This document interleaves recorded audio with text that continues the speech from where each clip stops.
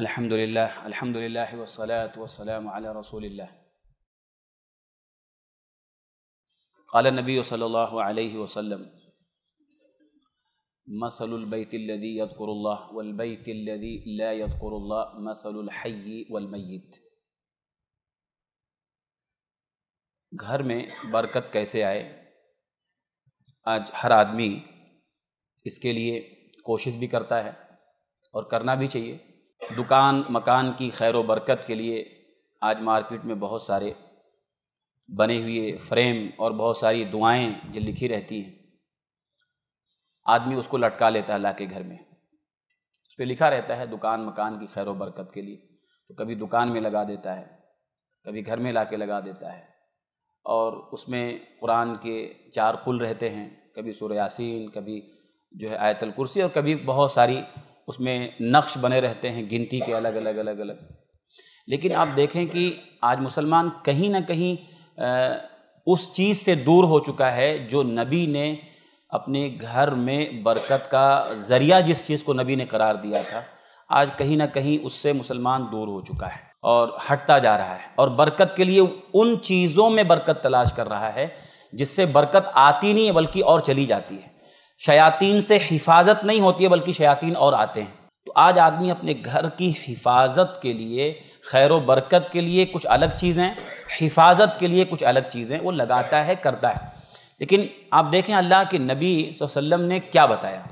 ये हदीस इससे पहले भी बयान की जा चुकी है और बार बार याद दहानी के तौर पे। एक सही मुस्लिम की हदीस है, अल्लाह के नबी फरमाते हैं इदा कज़ा अहदुकुमुस्सलात फ़ी मस्जिदिही फलयजअल लिबैतिही नसीबा मिन सलातिही फ़इन अल्लाह जाइलुन फ़ी बैतिही मिन सलातिही खैरा इतनी अहम हदीस आप फरमाते हैं जब तुम में से कोई आदमी नमाज़ मस्जिद में पढ़ ले, जब नमाज़ मस्जिद में पढ़ लो और फारिग हो जाओ तो अपनी नमाज़ में से कुछ हिस्सा बचा लो, उसको संभाल के रखो, नमाज़ का कुछ हिस्सा बचा के रखो। और क्या करो उसे? उसे अपने घर में पढ़ो। क्या होगा इससे? फ़िन अल्लाह जाफ़ी बैती ही मिन सलाती ही खैरा। अल्लाह ताला तुम्हारी उस नमाज़ की वजह से तुम्हारे घर में खैर लाएगा। खैर अल्लाह ताला बनाएगा। जा अल्लाह बना देगा। अल्लाह बनाएगा खैर। खैर में सारी चीज़ें, सारी बरकतें, सारी रहमतें, सारा सुकून आ गया इसमें। अल्लाह खैर तुम्हारे घर में बनाएगा। वो एक ज़रिया है। एक ज़रिया नबी ने बताया, एक काम तुम करो कि जब नमाज़ मस्जिद में पढ़ लो, कौन सी नमाज़? फ़र्ज़। तो कुछ हिस्सा बचा लो। क्या बचा लो? सुन्नत और नफिल, जो भी पढ़ना। सुन्नत बचा लो। कहाँ पढ़ो उसे? उसे अपने घर में पढ़ो। तो तुम्हारी उन सुन्नतों की वजह से, तुम्हारे घर में उन नमाजों के पढ़ने की वजह से अल्लाह तुम्हारे घर में खैर लाएगा। खैर पैदा करेगा। अल्लाह बनाएगा। हम देखें कितनी सुन्नतें आज हम घर में पढ़ते हैं। ठीक है, घर में औरतें पढ़ती है, नमाज़ अलग। लेकिन नबी ने किसको कहा? मर्दों से कहा ना। जब तुम नमाज़ मस्जिद में पढ़ लो तो अपनी नमाज़ का हिस्सा बचा के रखो। आज हम में से बहुत कम लोग ऐसे हैं जो अपनी नमाजों में कम से कम जो पाँच नमाजें हैं, उनमें आगे पीछे जो सुन्नतें हैं, कुछ ऐसी सुन्नतें बचा करके अपने घर के लिए रखना, चाहे वो फजर की हो ठीक है, हम फजर की सुन्नत पढ़ के आए कम से कम, और टाइम में तो हम बाहर रहते हैं, कारोबार में रहते हैं, नहीं पहुँच पाते हैं घर पे। लेकिन कम से कम एक वक्त तो हम घर पे रहते हैं। तो फजर की सुन्नत हम घर से पढ़ के जा रहे हैं। रोज का मामूल बना लें कि फजर की सुन्नत घर पे, ऐशा की सुन्नत हम घर पे पढ़ रहे हैं जा करके। हमने कहीं भी फ़र्ज़ पढ़ लिया, ऐशा की सुन्नत तो लंबा टाइम रहता है, हम घर पे जाके पढ़ेंगे। रात में पढ़ेंगे इसको, हम घर पहुँच जाएँगे। तो एक आदत बनाना चाहिए आदमी को, रोज आना। कि मैं अपनी नमाजों में से कुछ ना कुछ सुन्नत मैं घर पे पढ़ूं, क्योंकि नबी का फरमान है, अल्लाह तुम्हारे घर में खैर पैदा करे। आज खैर के लिए आदमी बरकत के लिए कहाँ कहाँ ढूंढ रहा है? और कहाँ कहाँ तलाश रहा है कि बरकत आ जाए घर में? कितने लोग हैं जो कहते हैं घर में बरकत नहीं है, सुकून नहीं है, सब कुछ है लेकिन सुकून नहीं है। तो आदमी को तलाशना की कमी कहाँ है? क्या वजह है कि बरकत नहीं आ रही? क्या वजह है खैर नहीं आ रहा है? तो एक चीज़ ये है। एक हदीस जो मैंने शुरू में पढ़ी, अल्लाह के ने फरमाते हैं, मसलुल हय्य वल मय्यित। कि उस घर की मिसाल जिस घर में अल्लाह का ज़िक्र होता है और जिस घर में अल्लाह का ज़िक्र नहीं होता है, दोनों की मिसाल ज़िंदा और मुर्दा की है। आज कितने घर मुर्दा हो चुके हैं। फिर आदमी शिकायत करता है कि शयातीन घर में आ रहे हैं, बोर में ये हो रहा है, वो। नबी फरमाते हैं, उस घर की मिसाल जिसमें अल्लाह का ज़िक्र होता है। अल्लाह का ज़िक्र जिन घरों में है, वो घर ज़िंदा है। और जिन घरों में अल्लाह का ज़िक्र नहीं होता, वो घर मुर्दा है। ज़िंदा मुर्दा किसको बोलते हैं? मुर्दा उसको कहते हैं जिसके अंदर हरकत नहीं है। बंद। अब आप उसमें सुई चुभो, उसको काटो, पीटो, कुछ भी करो, वो उस पर असर नहीं हो, क्यों? वो मुर्दा हो चुका है। ज़िंदा वो होता है, कम से कम अगर कोई उस पर अटैक करेगा, कोई उसको तकलीफ़ देगा तो कम से कम हाथ, पैर कुछ ना कुछ तो मारेगा ना चिल्लाए कम से कम।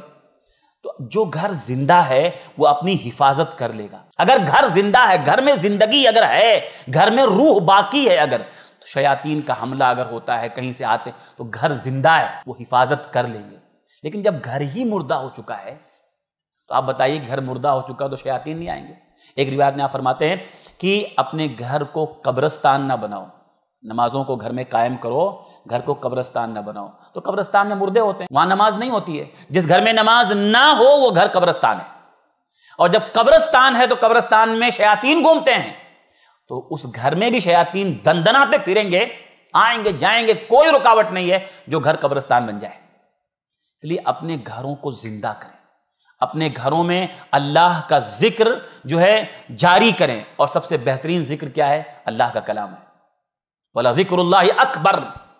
अल्लाह का कलाम जो है ना कुरान मजीद की तिलावत। घर में रोज आना कुरान मजीद की तिलावत होनी चाहिए। घर गूंजना चाहिए रोज आना कम से कम थोड़ा बहुत तो घर में तिलावत होनी चाहिए। कि पढ़ें कि घर में पूरी आवाज़ आ रही है। कितने कितने घर ऐसे हैं कि सालों साल गुजर जाते हैं, रमज़ान आता तो कुरान खुलता है। पूरे साल घर में कोई एक बंदा भी कुरान खोल के नहीं बैठता है। कहाँ से बरकत आएगी, आप बताइए, खैर कहाँ से आएगी? अल्लाह का कलाम घर में नहीं पढ़ा जा रहा है। ये करें, खुद भी करें, बच्चों को भी इस पर लगाएँ कि मतलब घर ज़िंदा हो। कुरान रोज़ाना थोड़ा थोड़ा पढ़ें और अपनी नमाजों में से कुछ हिस्सा कम से कम सुन्नत और नफिल अपने घर में पढ़ें ताकि बच्चे भी देखें कि हाँ जो है, ये जो है सुन्नत नफिल घर में पढ़ना अफजल है। हाँ तो ये सारी चीज़ें तो ये चंद बातें थी कि घर की खैर बरकत के लिए कुछ चीज़ें हैं जो हमसे छूट चुकी हैं। आदमी घोड़े की नाल लगाता है दरवाजे पर, शैतान नहीं आएगा। चारों कील ठोकवाता है पूरे चारों तरफ़। वो किसी को बुला के लाता है तो वो घर कहते हैं, खींच दो। या पता नहीं क्या कर दो, जो है वो कील ठोकता है शयातीन। आप बताइए, मुसलमान है, शैतान नहीं आएँगे इसे? वो दीवार के चारों तरफ़, चारों कोने में वो कील ठोकता है। वो आगे कील ठोक देता है तो फिर वो घोड़े की नाल लगा देता है तो फिर कोई और हरे पीले कपड़े में ला करके नारियल लटका देता है। अरे, क्या है मुसलमान का दिमाग?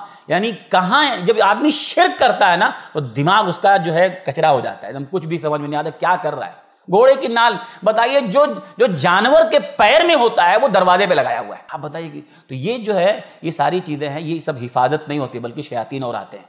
तो ये हम काम करें कि नमाज़ पढ़ें, घर में, सुन्नत नफिल फ़र्ज़ नहीं, सुन्नत और नफिल। मर्द के लिए फ़र्ज़ नमाज़ मस्जिद में, सुन्नत, नफिल घर में पढ़ें, कोई ना कोई नमाज़ की। नंबर दो, अल्लाह का ज़िक्र कायम करें, ज़्यादा से ज़्यादा तिलावत करें घर में, कुरान मजीद की, और उसके अलावा भी असकार पढ़ें।